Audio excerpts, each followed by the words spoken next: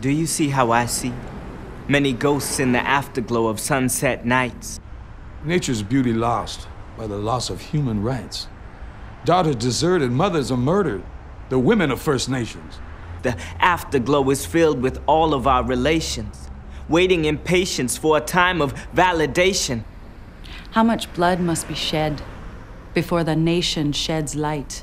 When killers take lives and feathers take flight. When violence remains and this silence reigns, we see what we want. Like we have a hard time believing. Pushed to the side so their lives have less meaning.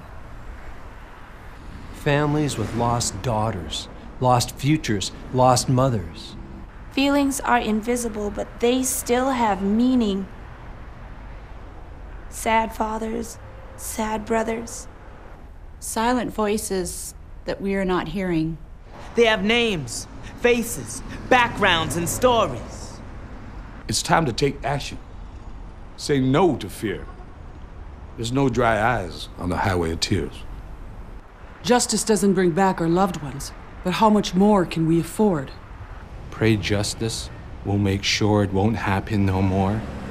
For what you see is not what you get. What did you expect?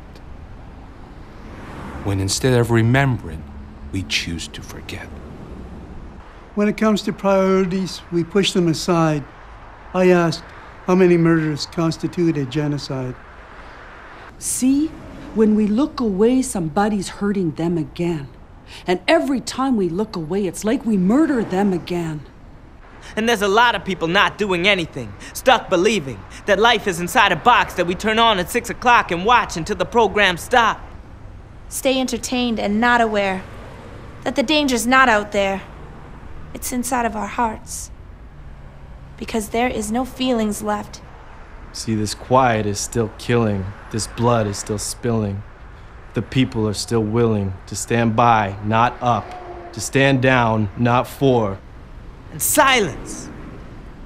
It's not good enough anymore. So, Creator, please forgive us.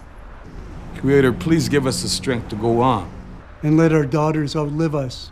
Give support. Give love. Stop the silence.